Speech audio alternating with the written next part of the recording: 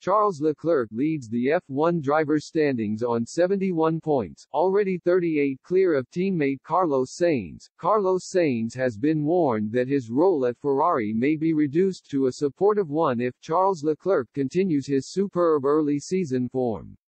Leclerc, 24, has enjoyed a storming start to the 2022 campaign, kicking off a new era in F1 by winning in Bahrain.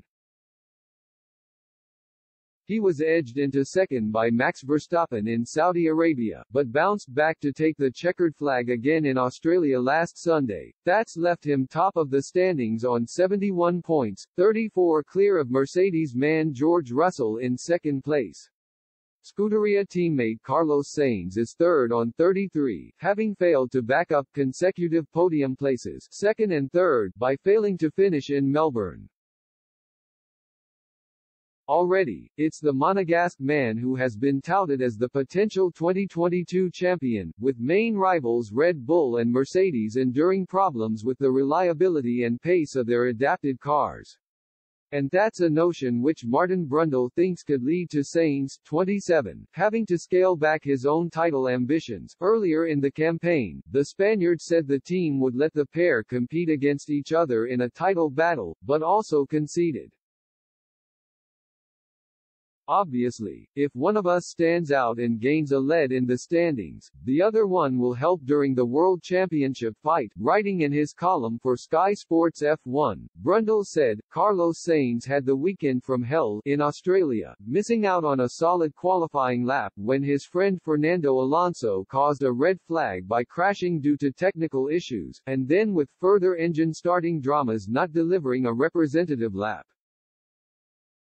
Out of true position in ninth on the grid, he needed a last-minute steering wheel change which led to an awful start, and he then proceeded to have a brutal midfield fight on hard compound tires, eventually impatiently spinning off the road.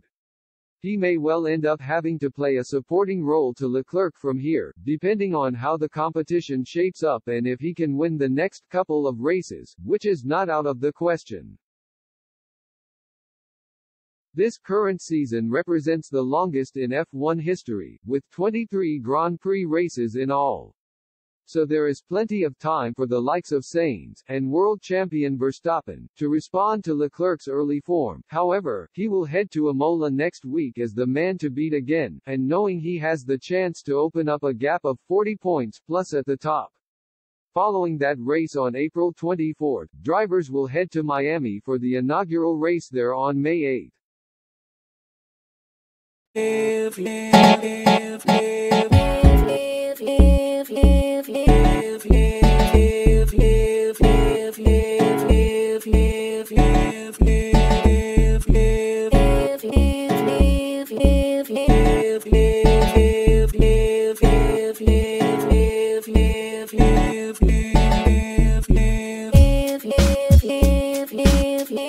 Live, live.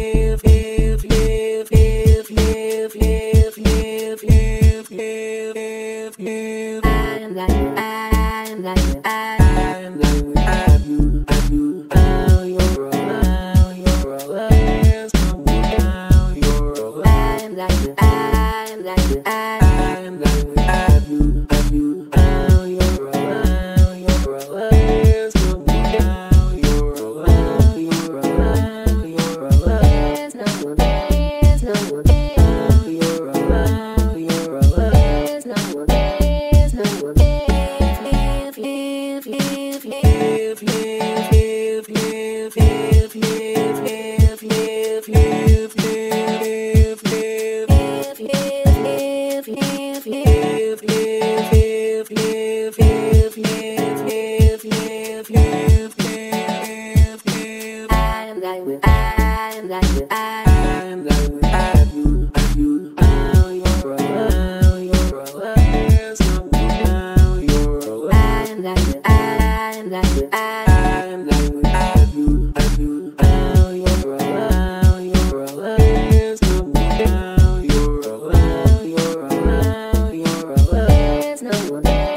no